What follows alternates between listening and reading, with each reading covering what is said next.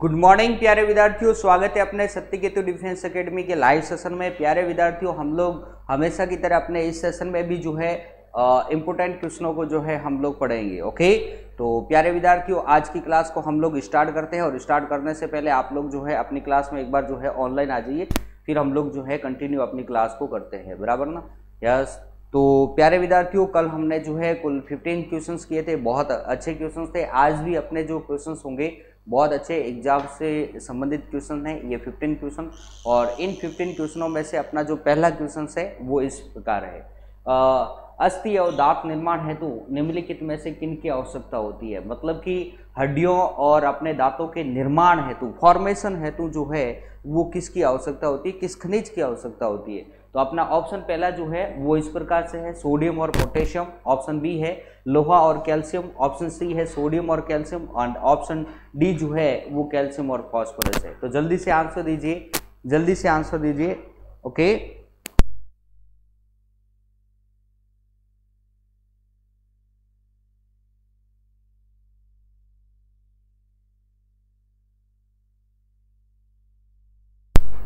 Okay प्यारे विद्यार्थियों चलो, जल्दी से बताओ। सबास एम एस चौधरी, चौटन, सौरभ नेगी, जय हिंद भाई, जय हिंद। वेरी गुड सबास पहले क्वेश्चन का आंसर दे दिया है, Saurabh Negi. Yes okay first question का आपने दिया है डी आंसर बराबर ना? बहुत अच्छा सबास हाँ मेरे प्यारे विद्यार्थियों, आपको पता ही होगा कि हमारी हड्डियाँ और जो दांत जो होते हैं, और प्लस मैं ये भी कह सकता हूँ, दांतों के ऊपर जो अपने शरीर का सबसे कठोर भाग पाया जाता है, जिसे मैं कहता हूँ इनेमल वो भी जो है अपने कैल्शियम और फॉस्फोरस से मिलकर बना होता है। ये चीज़ हमें ध्यान में रखनी है। मेरे प्यारे विद्यार्थियों, आपको पता होगा कि हमारे शरीर में कैल्शियम की मात्रा पर जो कंट्रोल करती है, वो ग्रंथि कौन सी है? तो वो है पैराथायराइड ग्रंथि। ये चीज़ भी ध्यान में रखना है। पैराथायराइड ग्रंथि के द्वारा स्त्रावी हार्मोन्स, यह एक अंतस्त्रावी ग्रंथि है। तो सीधी सी बात है कि इसके द्वारा हार्मोन्स स्त्रावित होगा और इसके द्वारा स्त्रावी हार्मोन जो होता है वो कैल्शियम की मात्रा पर नियंत्रण करता है। जब इस हार्मोन्स की कमी हो जाती है तो हमारे अस्थिया, दांत इनेवल सब क्या पड़ जाते हैं? कमज़ोर पड़ जाते हैं। ओके? ये चीज़ ध्यान में रखनी है। तो सीधी सी बात है कि अस्थियाँ और दांतों का निर्माण जो है वो कैल्शियम और फॉस्फोरस से मिलकर बना होता है। ठीक है प्यारे विद्यार्थियों? आगे चलते हम लोग अपने अगले क्वेश्चंस की तरफ़ चलेंगे और अगला क्वेश्चंस जो है कुछ इस प्रकार से होगा। क्वेश्चन सेकंड है, मनुष्य में यूरिया किसमें बनता है? बहुत अच्छा क्वेश्चन है कि यूरिया जो, मनुष्य में यूरिया जो है, वो किसमें बनता है? तो प्यारे विद्यार्थियों, बेझिझक, जल्दी से आंसर दीजिए। पूरे ऑप्शनों को पढ़ने की कोई ज़रूरत नहीं है, क्योंकि मैं आपको कई बार बता चुका हूँ कि किसी भी चीज़ का बनना या संग्रहण वो कहाँ पे हो सकता है? तो जल्दी से आंसर दीजिए। अगर कोई भी चीज़ बनती है या संग्रहित होती है तो वो कहाँ पर होगी? पता ही होगा आपको। सीधी सी बात है, वो हमारी लेबोरेटरी में होगी। बनाने का कार्य हम लोग जो है अपनी लैब में ही करते हैं। तो सीधी सी बात है, इसका आंसर अपना लेबोरेटरी होगा और लेबोरेटरी हम लोग जो है किसको बोलते हैं? यकृत को बोलते हैं। यानी कि हमारे ये शरीर की क्या है? लेबोरेटरी शरीर की प्रयोगशाला भी इसे हम लोग कहते हैं। तो सीधी सी बात है कि बनाने का कार्य, संग्रहण का कार्य, ये सब का कार्य कौन करेगा? ये हमारी प्रयोगशाला ही करेगी। यानी ऑप्शन नंबर ए जो है, इसका आंसर राइट हो जाएगा। यस आगे चलते हैं। नेक्स्ट क्वेश्चंस की तरफ़ चलेंगे और अगला हमारा क्वेश्चंस जो है, इस प्रकार से। उत्सर्जन तंत्र की इकाई माना जाता है। बहुत अच्छा क्वेश्चन है भाई। उत्सर्जन तंत्र की इकाई सोच समझ के आंसर दीजिए, क्या होगा?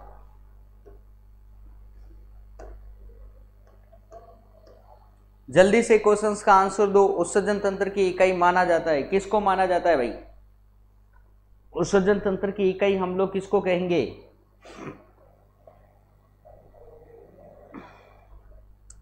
Shishu Kumar M S Chaudhary Chautan. Okay Shishu Kumar third में बाई कोई बात नहीं। Solve the target A question A आ रहा है। बहुत अच्छा सवाल। Very good.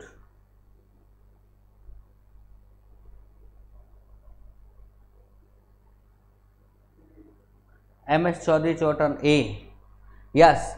मेरे प्यारे विद्यार्थियों, हमारे शरीर का सबसे प्रमुख उत्सर्जन तंत्र वाला पार्ट कौन सा है? वो है वक्र, यानी कि किडनी। और किडनी में आपको पता है, अपने क्या पाया जाता है? नेफ्रॉन। और यही नेफ्रॉन जो है, अपने इस वक्र की संरचनात्मक और क्रियात्मक इकाई मानी जाती है, और उत्सर्जन तंत्र की भी हम लोग इसको संरचनात्मक, क्रियात्मक इकाई कहते हैं। यानी कि हमारा ऑप्शन जो है ए जो है, बिल्कुल करेक्ट आंसर है। मेरे प्यारे विद्यार्थियों, ये न्यूरॉन जो है ना, वो तंत्रिका तंत्र तंत्रिका तंत्र। ये तंत्रिका तंत्र की जो है संरचनात्मक व क्रियात्मक इकाई है। बराबर? यस आगे चलते हैं अपन। नेक्स्ट क्वेश्चंस की तरफ़ पूछ, चलेंगे। और अगला हमारा क्वेश्चन इस प्रकार से। जल का बर्फ़ में बदलना परिवर्तन है।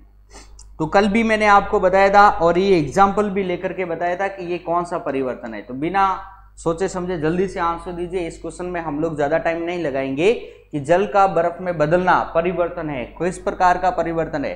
रासायनिक, भौतिक, यांत्रिक या उक्त में से कोई नहीं। तो जल्दी से क्वेश्चन का आंसर दो भाई, क्या होगा? अपने क्वेश्चन नंबर फोर्थ का आंसर भेजो, क्या होगा? फोर्थ नंबर क्वेश्चंस का आंसर दो भाई, क्या होगा? जल्दी से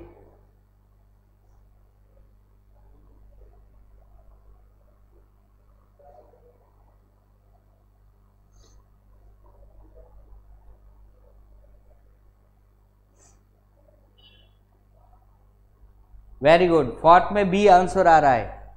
भौतिक yes M H Chaudhary Chautan soldier Achal Singh बहुत अच्छा शबाश. तो प्यारे विद्यार्थियों, कल हमने एक पढ़ा था भौतिक परिवर्तन और एक रासायनिक परिवर्तन. रासायनिक परिवर्तन जैसे कि हमने देखा था कि गेहूँ से आटा बनता है और आटे से वापस गेहूँ नहीं बना सकते तो वो कौन सा होता है? रासायनिक. और हमने ये पढ़ा था कि पानी से बर्फ़ और बर्फ़ से वापस क्या बनता है? पानी. तो ये हमारा कौन सा हो जाता है? भौतिक परिवर्तन। तो सीधी सी बात है कि बी नंबर ऑप्शन जो है, ये हमारा करेक्ट आंसर हो जाएगा। ओके या आगे चले हम लोग अपने नेक्स्ट क्वेश्चंस की तरफ़ चलेंगे। अगला हमारा क्वेश्चन जो है, वो क्वेश्चन नंबर है फाइव लोहा है। लोहा क्या है?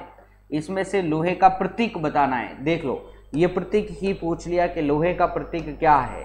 एफ़ ई या ए एल या यू आर या एम एन तो जल्दी से बताइए इनमें से लोहे का प्रतीक कौन सा है? इतना सिंपल क्वेश्चन है फाइव नंबर अब देख लो फाइव नंबर से तो सिंपल क्वेश्चन कोई हो ही नहीं सकता।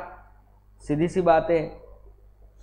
लोहा क्या है? जल्दी से आंसर दो, लोहा है। Very good M S Chaudhary Chautan Saurabh Negi का सबसे पहले आंसर आया है।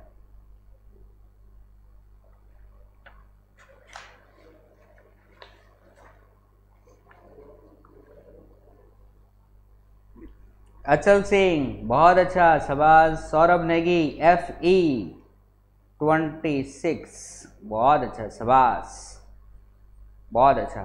तो मेरे प्यारे विद्यार्थियों, लोहा लोहा जो है ना, वो एफ़ ई होता है। यानी कि एफ़ ई मतलब ऑप्शन नंबर ए जो है, वो हमारा करेक्ट आंसर है, लोहा। और प्यारे विद्यार्थियों, सर्वाधिक जो है, वो लोहे की मात्रा जो है, वो किसमें पाई जाती है? हरी सब्जियों में पाई जाती है, ये चीज़ ध्यान में रखना। हरी सब्जियों में जो है, वो लोहे की मात्रा जो है, सबसे अधिक पाई जाती है राइट यस आगे चलते हैं नेक्स्ट क्वेश्चन की तरफ़ चलेंगे। Next question number six six number question है कि सार लिटमस पेपर को बदलता है। सार भाई लिटमस पेपर को बदलता है, किसमें बदलेगा? जल्दी से क्वेश्चन का आंसर दो। सार जो है वो लिटमस पेपर को बदलता है। नीले से लाल लाल से नीला, ए व बी या कोई नहीं। तो जल्दी से क्वेश्चंस का आंसर दो कि क्या आंसर होगा। जल्दी से क्वेश्चंस का आंसर दो भाई।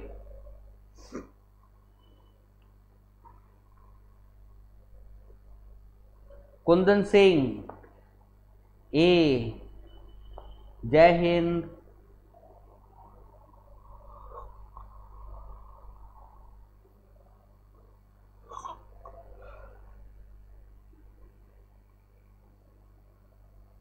सौरभ नेगी बहुत अच्छा लाल से नीला।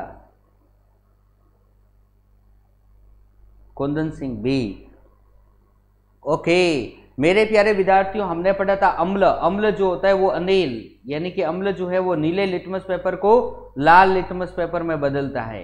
तो सीधी सी बात है कि सार जो है वो किसको किसमें बदलेगा?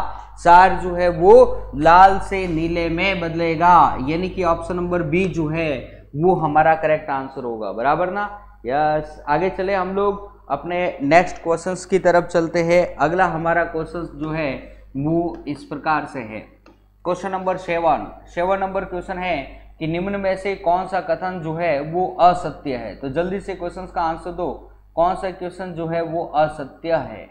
क्वेश्चन कौन सा कथन जो है, वो असत्य है? प्रोटॉन परमाणु के नाभिक में होते हैं, न्यूट्रॉन परमाणु के नाभिक में नहीं होते हैं, इलेक्ट्रॉन परमाणु का बाह्यतम भाग में होते हैं, इलेक्ट्रॉन लगातार नाभिक के चारों ओर चक्कर लगाते रहते हैं। कौन सा कथन जो है वो असत्य है? जल्दी से बताओ कौन सा कथन जो है वो असत्य है? तो क्या होगा प्यारे विद्यार्थियों? जल्दी से आंसर दो भाई। प्रोटॉन परमाणु के नाभिक में होते हैं, ये सही है कि नहीं है? जल्दी से आंसर दो, क्या होगा? Anuj Kumar B Achal Singh B Chaudhary Chautan B बहुत अच्छा सोल्जर सौरभ नेगी लक्की राज को इस सेवंत में बी आंसर बहुत अच्छा सबास तो बी आंसर है कि न्यूट्रॉन परमाणु के नाभिक में नहीं होते हैं। तो भाई न्यूट्रॉन तो जो होते हैं, वो परमाणु के नाभिक में ही पाए जाते हैं। सही बात है ना? हमने देखा था कि हमारा ये परमाणु होता है, इस परमाणु के बीच में ये क्या होता है, नाभिक होता है। और हमने ये चीज़ देती है कि नाभिक में जो है वो प्रोटॉन प्लस न्यूट्रॉन होता है और इसके चारों तरफ़ जो है वो क्या पाया जाता है, इलेक्ट्रॉन पाया जाता है। ये चीज़। तो नाभिक में तो भाई प्रोटॉन और न्यूट्रॉन हो गई, यानी कि ऑप्शन नंबर बी जो है वो अनकरेक्ट हो जाएगा। राइट है ना?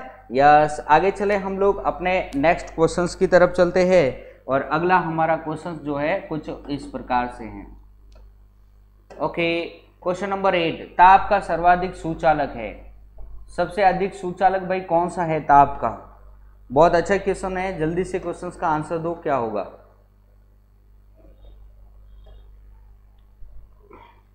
सोना, चांदी, तांबा और लोहा। क्वेश्चन नंबर एट जल्दी से आंसर दीजिए भाई। ताप का सर्वाधिक जो है, वो सुचालक है। कौन है भाई? जल्दी से क्वेश्चंस का आंसर दो।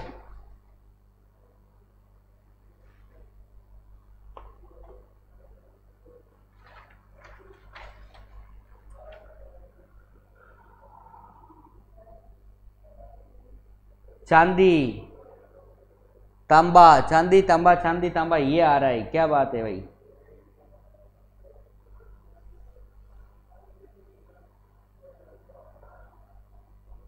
राधे मंजू सी आंसर आ रहा है, तांबा। अरे भाई सी आंसर नहीं होगा, सौरभ नेगी। सी आंसर नहीं होगा भाई, चांदी होगा। सीधी सी बात है कि चांदी जो है, वो विद्युत की सर्वाधिक क्या होती है भाई? विद्युत की सर्वाधिक सुचालक होती है। तो सीधी सी बात है कि यह क्या होगी भाई? उष्मा की भी जो है, वो सुचालक ही होगी। ताप का भी, ताप की भी वो क्या होगी? सर्वाधिक सुचालक ही होगी। ये चीज़ ध्यान में रखना है। यानी कि चांदी। प्यारे विद्यार्थियों, सोना में जो है वो तन्यता व आघात वृद्धि का करेक्टर सबसे अधिक पाया जाता है। तांबे में हमारे जो है सर्वाधिक विद्युत की सुचालक नहीं होती है, ये चीज़ ध्यान में रखना। तांबे का उपयोग हम लोग ज़रूर जो है वो इसका उपयोग हम लोग ज़रूर जो है अपने घरों में जो है बिजली के उपकरण बनाने में करते हैं, लेकिन इसके भी पीछे कुछ रीजन है। आई बात से जो कि हमने विद्युत में बहुत अच्छी तरीके से इसको पढ़ना है। बराबर ना? यस तो आगे चलते हैं। अगर आप विद्युत को देखोगे तो वहाँ पे मैंने बता रखा है कि तांबे का उपयोग कहाँ कहाँ होता है। बराबर ना? Yes, question number nine. एक लाल फूल को यदि नीले प्रकाश में देखा जाए तो यह दिखेगा। कैसा दिखेगा भाई? फिजिक्स का क्वेश्चन है, बहुत अच्छा क्वेश्चन है। जल्दी से क्वेश्चन का आंसर दीजिए, नौ नंबर क्वेश्चन का आंसर दो कि एक लाल फूल को यदि नीले प्रकाश में देखा जाए तो यह दिखेगा। कैसा दिखेगा? बैगनी, लाल, सफ़ेद व काला कैसा दिखाई देगा? राम राम, राहुल सर, राम राम भाई।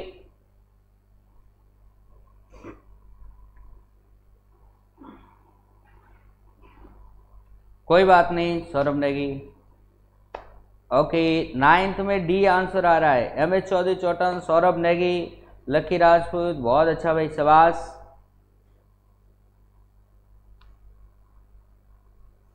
ठीक है भाई, ठीक। डी डी एफ़ सबास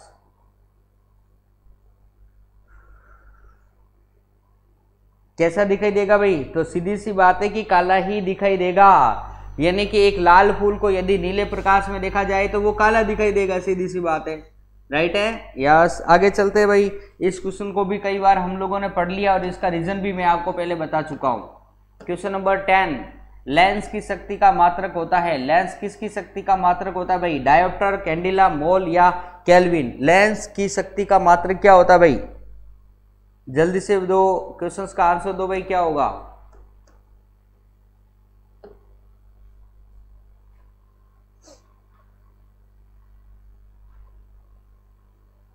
जल्दी से क्वेश्चंस का आंसर दो, क्या होगा? लेंस की शक्ति का मात्रक।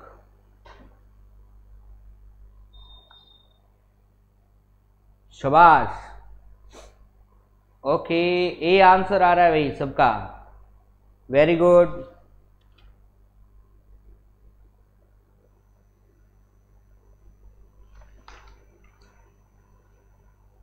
अचल सिंह, बहुत अच्छा। भाई राधे मंजू बी आंसर कैसे आ रहा है? कैंडिला अरे कैसे दे रहे हो आँसू अरे बी आंसर नहीं देना है, ठीक है? ओके, चलो भाई, डायोप्टर होता है, लेंस की क्षमता का मात्रक, लेंस की शक्ति का मात्रक क्या होता है? डायोप्टर। यानी ए नंबर ऑप्शन जो होता है, वो हमारा बिल्कुल करेक्ट है। आगे चलेंगे हम लोग क्वेश्चन नंबर 11 की तरफ़ चलेंगे, और ये हम लोग पढ़ चुके हैं। जब हमने प्रकाश पढ़ा था फिजिक्स में, उस समय मैं आपको बहुत अच्छी तरीके से ये बता चुका हूँ। चलो भाई, आगे चले अपने, अगले क्वेश्चन की तरफ़ चलेंगे। क्वेश्चन नंबर है ग्यारह, और इलेवन नंबर क्वेश्चन जो है, वो कुछ इस प्रकार से है, देखो।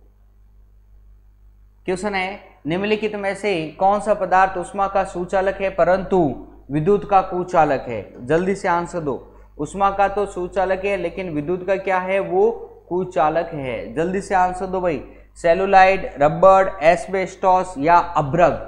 निम्नलिखित में से कौन सा पदार्थ उष्मा का सुचालक है, परंतु विद्युत का क्या है भाई? कुचालक है। जल्दी से आंसर दो क्वेश्चन नंबर ग्यारह का।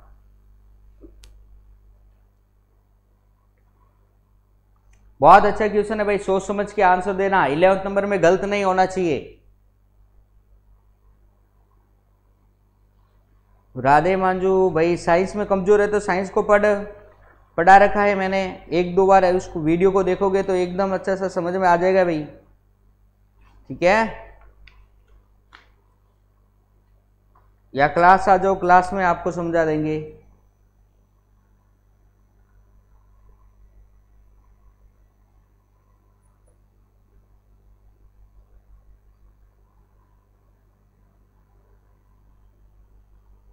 बहुत अच्छा शबास अब्रक हाँ जी तो राइट आंसर बिल्कुल सही है, अब्रक, जिसको हम लोग जो है, माइका के नाम से भी जानते हैं। ये चीज़ ध्यान में रखना। यानी कि ऑप्शन नंबर डी जो है, ये हमारा करेक्ट आंसर हो जाएगा। शबास अब्रक, इसका जो है, वो करेक्ट आंसर होगा। बहुत अच्छा। चलो भाई, आगे चले अपने अगले क्वेश्चंस की तरफ़ चलेंगे और अगला हमारा क्वेश्चन जो है, वो इस प्रकार से है। ट्वेल्व नंबर, आवर्धक लेंस वास्तव में क्या होता है? अवतल लेंस अवतल लेंस और उत्तल लेंस या बेलनाकार लेंस तो जल्दी से आंसर दो भाई। इसके दो जो है, वो इस प्रकार से हैं। हम्म। चलो आप जल्दी से जो है, वो क्वेश्चंस का आंसर दो। ठीक है? अवतल लेंस और यहाँ पे हम लोग जो है, वो अवतल दर्पण कर देंगे। बराबर ना? यस फिर जल्दी से आंसर दो, क्या होगा?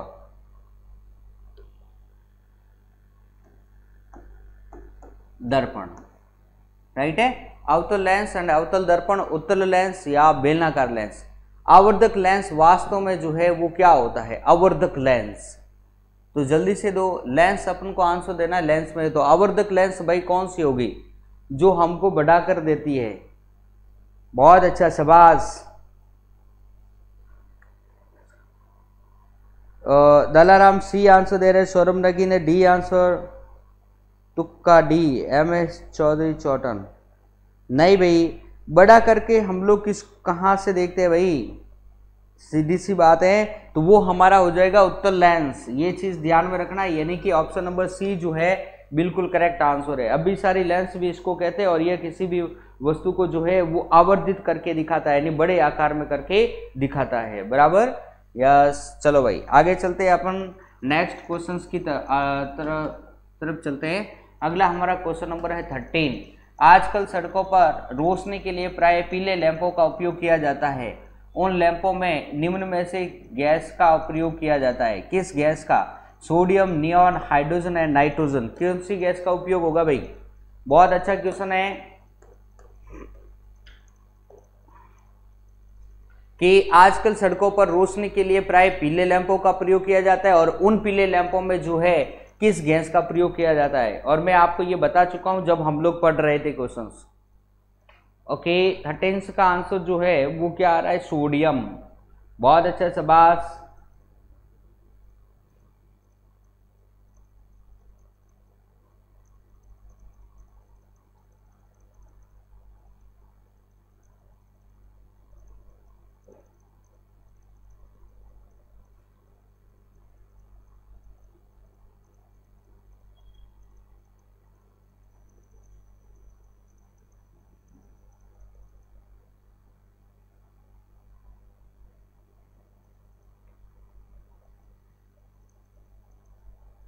शबाश वेरी गुड यानी कि सोडियम हाँ जी वेरी गुड तो मेरे प्यारे विद्यार्थियों हम लोगों ने देखा था कि सड़कों पर जो रुपीले पीली जो रोशनी होती है उसके अंतर्गत हम लोग जो है सोडियम का उपयोग करते हैं यानी कि एनए प्यारे विद्यार्थियों यह वही तत्व है वही धातु है जिसको हम लोग जो है आ, क्या कहते हैं यह कोमल धातु है जिसको हम लोग चाकू से आसानी से काट सकते हैं। आई बात समझ में। फिर हमने इसके बारे में और क्या देखा था? इसको हम लोग जो है, वो किसमें रखते हैं? तो मिट्टी के तेल में इसको हम लोग रखते हैं, मिट्टी का तेल। इसके अंतर्गत हम लोग इसको रखते हैं, सोडियम को। आई बात है नियॉन एक तरह की क्या होती है? चमकीली गैस होती है। इसका उपयोग हम लोग जो है, वो कहाँ करते हैं? तो हम लोग इसका एडवर्टाइजमेंट में करते हैं। यानी कि विज्ञापनों में हम लोग जो है, इसका उपयोग करते हैं। ये चीज़ भी ध्यान में रखना। है हाइड्रोजन जो होता है, वो उसे हम लोग भविष्य का ईंधन बोलते हैं। बहुत अच्छा है, भविष्य का ईंधन। और इसका उपयोग जो है, इसका प्रयोग सबसे ज़्यादा इसकी मात्रा जो है, वो अपने सूर्य और तारों पर पाई जाती है। नाइट्रोजन, आपको पता ही होगा कि नाइट्रोजन जो है, वो छोटे पौधों को लंबा होने के लिए सबसे अधिक मात्रा में नाइट्रोजन की आवश्यकता होती है। ठीक है? छोटे पौधों को, छोटे पौधों को, छोटे पौधों को लंबा होने के लिए, छोटे पौधों को लंबा, बराबर ना? छोटे पौधों को लंबा होने के लिए किसकी आवश्यकता होगी? सबसे ज़्यादा नाइट्रोजन की आवश्यकता होती है, इसलिए हम लोग जो है छोटे पौधों पर यूरिया छिड़कते हैं, क्योंकि यूरिया में जो है वो 46 परसेंट क्या होती है? नाइट्रोजन होती है, बराबर? या चलते हैं प्यारे विद्यार्थियों, अगले क्वेश्चन की तरफ़, और आज की क्लास का सेकेंड लास्ट क्वेश्चन हमारा कुछ इस प्रकार से है, वो देखो। क्वेश्चन है ऑप्टिकल फाइबर का आविष्कार किसने किया था? सैमुअल कोहने, नरेंद्र का कपानी, या पारसी एल स्पेंसर, या टी एच महामहा? बहुत अच्छा क्वेश्चन है प्यारे विद्यार्थियों, सोच समझ के क्वेश्चंस का आंसर देना है। ऑप्टिकल फाइबर का आविष्कार। प्यारे विद्यार्थियों, ये ऑप्टिकल फाइबर आई बात समझ में, ये वही फाइबर है जिसके अंतर्गत हम लोगों ने फिजिक्स में पढ़ा था। पूर्ण आंतरिक परावर्तन की घटना होती है इसके अंतर्गत। सही बात है ना? ऑप्टिकल फाइबर, जहाँ पर क्या होती थी? पूर्ण आंतरिक परावर्तन। ये हमने घटना पढ़ी थी, अपने प्रकाश में पढ़ी थी। ऑप्टिकल फाइबर एक तार होती है, जिसके आजकल जो सड़कें टूट रही है, वो इस ऑप्टिकल फाइबर की वजह से टूटी जा रही है। जो कि हम लोग चढ़ के तोड़ करके अपने नीचे से जो तारे डाला जा रहा है ना, वो ऑप्टिकल फाइबर वाली तारे हैं। तो ऑप्टिकल फाइबर का आविष्कार किसने किया? जो जल्दी से आंसर दो भाई, किसने किया? क्वेश्चन नंबर फोर्टीन का आंसर दो, क्या होगा?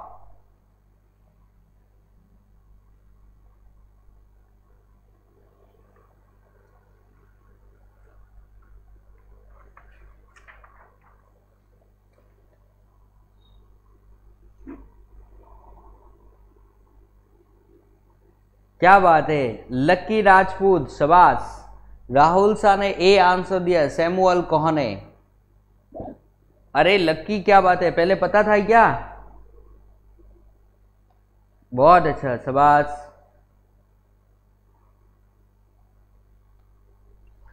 ऐसे क्वेश्चनों का भी आंसर आपको पता है, इसका मतलब आपकी तैयारी बड़ी अच्छी है। इस क्वेश्चन का आंसर देना मतलब आपकी तैयारी जो है वो अच्छी है। लक्की राजपूत, बहुत अच्छा शबाज क्या बात है भाई? कोई और दे नहीं पा रही क्या?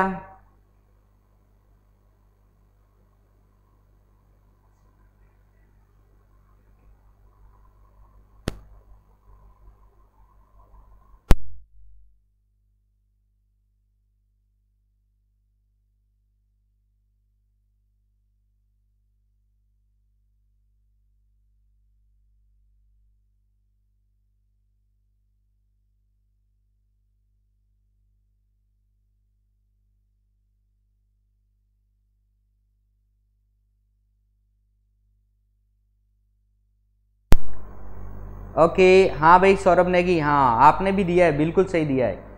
बिल्कुल बिल्कुल, ये बीच में मैं आपको पढ़ नहीं पाया। Very good Subhash. आपका भी आंसर बिल्कुल सही है। हाँ जी तो भाई, इसका आंसर बिल्कुल सही है, नरेंद्र कपानी ही होगा। B number answer very good बहुत अच्छा जिसका ये आंसर मतलब ये पहले से आप लोग जानते हो तो इसका मतलब आपकी तैयारी जो है, बहुत अच्छी तैयारी है। बराबर ना? क्योंकि ये हर किसी को नहीं पता है। इतना ज़रूर पता है ऑप्टिकल फाइबर होता क्या है। लेकिन ये नहीं पता होगा कि ऑप्टिकल फाइबर का आविष्कार किसने किया है। चलो भाई, दृष्टि के स्थायित्व का सिद्धांत किसके पीछे का सिद्धांत है?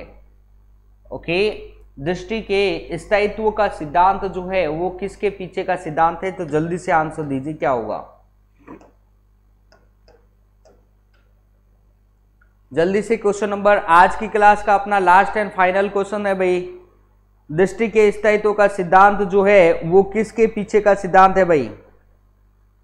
यस, ये तो राइट होना चाहिए सर भाई, जल्दी से आंसर दो।